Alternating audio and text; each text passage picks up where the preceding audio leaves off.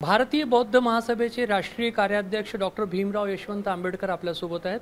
आंबेडकरजी आज आपण दीक्षाभूमीला भेट देत आहेत. एक तारखेला जो काही प्रकार झाला आंदोलन झाला त्याच्यामध्ये हिंसा झाली त्यानंतर आपली ही भेट अत्यंत महत्त्वाची आहे. नेमके कोण कोण आपल्यासोबत या भेटीमध्ये असणार आहे? इतर संघटनही आपल्यासोबत येत आहेत का?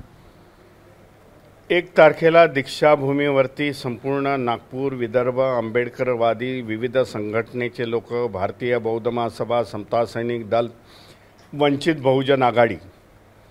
ह्या सर्वांच्या माध्यमातून जेथे जो प्रकार दीक्षाभूमीवरती पार्किंगच्या नावाखाली एक दहा फुटीचा मोठा खड्डा खणण्यात आलेला आहे त्याचा निषेध करण्यासाठी हे सगळे कार्यकर्ते आंबेडकरवादी लोक जमले होते.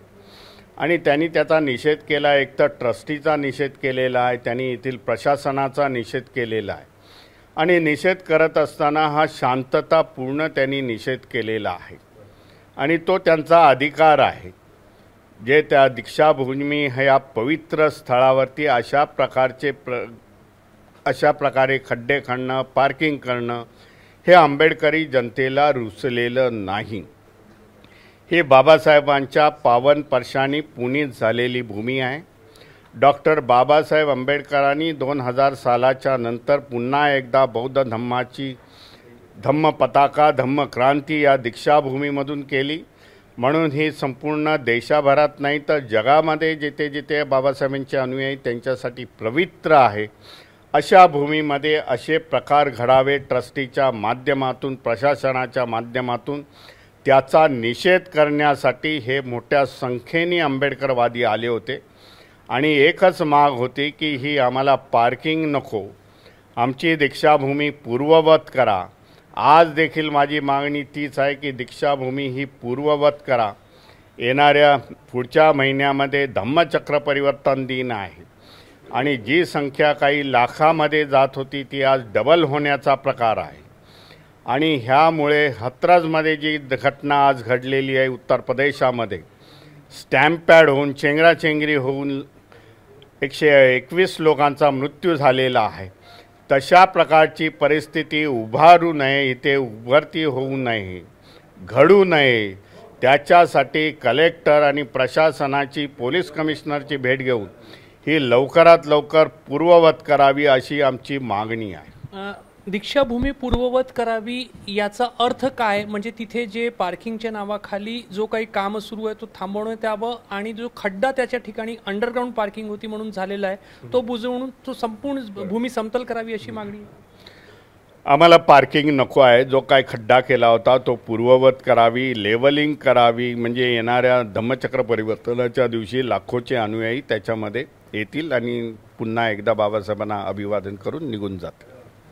हे जे काही संपूर्ण विकास कामं त्या ठिकाणी सुरू करण्यात आलेले होते ट्रस्टी म्हणजे जो ट्रस्ट आहे आणि सरकारी एजन्सीज जे आहे त्यांच्या माध्यमातून दीक्षाभूमीचा विस्तारीकरण आणि सौंदर्यीकरण आणि तो आवश्यक झालेला आहे येणाऱ्या जे काही लोक आहेत त्यांची संख्या पाहता असं त्यांचा तर्क आहे.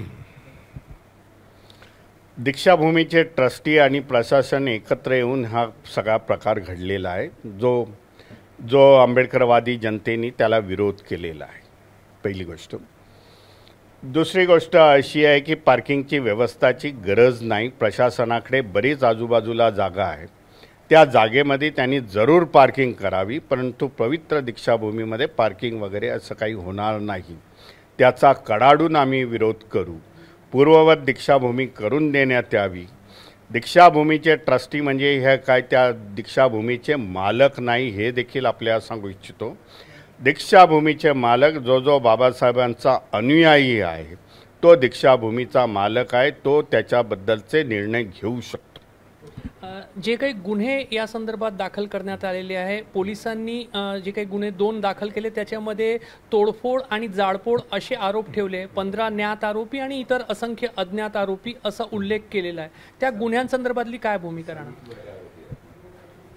संपूर्ण आंदोलन मी बघितलं तर हे पूर्णतः शांततेने चाललं होतं. पण मध्यंतरीच्या काळामध्ये दीक्षाभूमीच्या ट्रस्टीनी काही लोकांना त्याच्यामध्ये घुसवून अशा प्रकारची तोडमोड आणि जाळपोळ करण्याचा प्रयत्न केला की आंदोलनाला गालबोट लावावं. पोलिसांना मी आव्हान करतो आपल्या चॅनलच्या माध्यमातून त्यांनी अशा लोकांना कॅमेऱ्यामधून शोधून काढावं आणि त्यांच्यावरती जरूर गुन्हे घालावे. पोलिसांनी जे गुन्हे आमच्या कार्यकर्त्यांवरती दाखल केलेले आहेत ते गुन्हे सिरियस इन नेचरचे आहेत.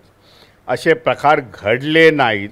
म्हणून मी आज पोलीस कमिशनरना भेटून सांगणार आहे की हे गुन्हे मागं घ्या यांचा एफ आय आर मागं घ्या.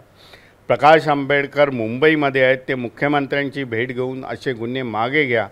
अशी माग ती आपल्या माननीय मुख्यमंत्र्यांकडे ठेवणार आहे. ज्यांनी तोडफोड केली जाळपोळ केली ते त्यांना कोणी घुसवलं होतं? कोणाकडे आपला हे? सगळे दीक्षाभूमीचे ट्रस्टी आहेत. त्यांच्या मार्फत हे लोक आले होते आणि त्यांनी हे आंदोलन गालबोट लागावं म्हणून त्या प्रकारचे गुन्हे त्यांनी केलेले आहेत.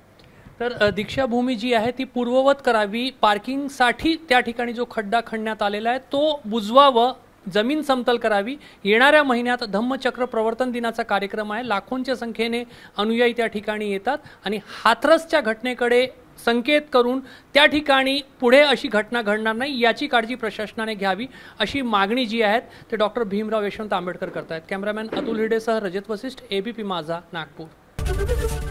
एबीपी माझा उघडा डोळे बघा नीट.